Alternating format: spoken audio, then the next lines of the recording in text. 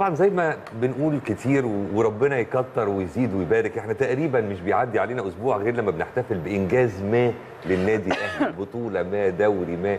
آه، قناة النادي الأهلي تحصل على جائزة أحسن قناة رياضية إلى آخره إلى آخره. خلونا نقول إن كابتن محمود الخطيب رئيس النادي تلقى خطاب من حوالي خمس أيام من مؤسسة جلوب سوكر في دبي لدعوته للاحتفالية الكبرى اللي سيقيمها أو ستقيمها المؤسسة يوم 27 ديسمبر الجاري بأحد الفنادق الكبرى طبعا بحضور كوكبة كبيرة من نجوم كرة القدم العالمية واستلام جائزة النادي بوصفه نادي القرن الإفريقي والأكثر تتويجا بالبطولات في منطقة الشرق الأوسط.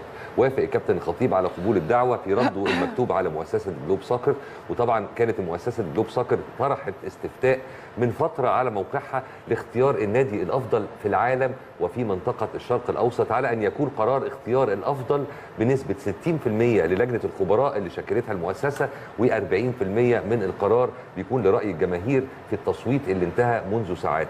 حسم رأي ال- الأغلبية في لجنة الاختيار هوية الجائزة قبل الانتهاء من التصويت وفاز ريال مدريد بلقب نادي القرن في العالم وحصل النادي الأهلي على لقب نادي القرن الإفريقي والأكثر تتويجا بالبطولات في منطقة الشرق الأوسط. يا رب دايما في أفراح واحتفالات يا أهلي.